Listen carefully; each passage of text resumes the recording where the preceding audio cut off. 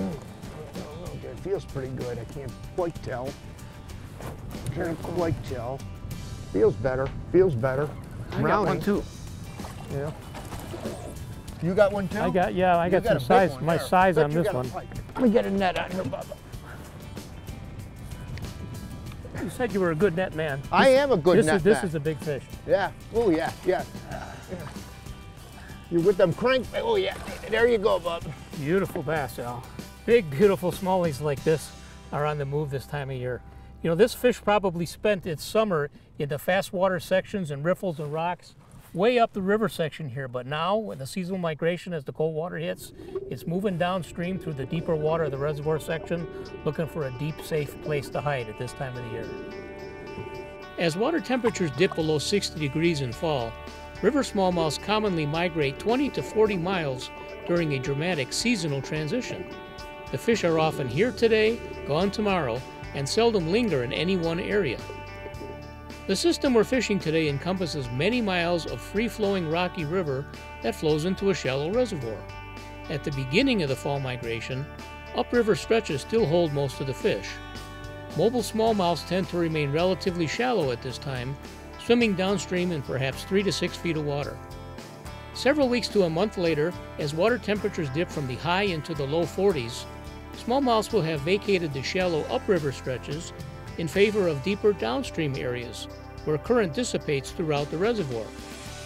Arriving groups of smallmouths pile into deep wintering holes and begin forming huge concentrations where hundreds of bass cluster tightly together along the bases of drop-offs out of strong current flow.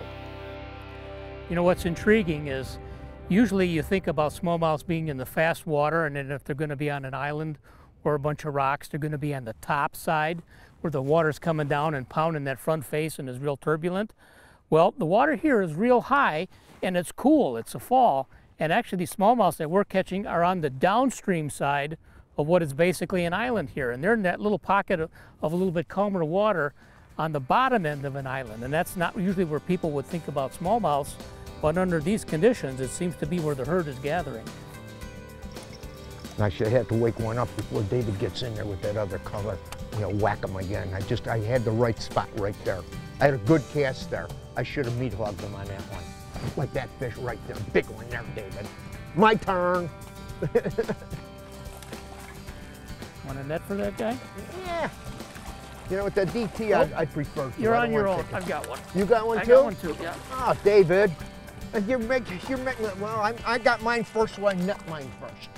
I got to net my own fish. I got to run to who's, who's got the biggest fish. Well, I'm doing my. Let me see. Oh, yours, yours, get yours in here. Come on, get them both in. Lift them, lift them. All right. Oh, man, you know what? I got to put them back. This fish is bigger than mine. Here, get yours out of here. The fish we're catching today are fairly shallow, in about 3 to 6 feet of water. Our Rapala DT4 and DT6 crankbaits run just deep enough to tick bottom occasionally, revealing areas where the bottom changes from soft sand and silt to exposed rock. When we feel rock along the edges of the channel, get ready to set the hook.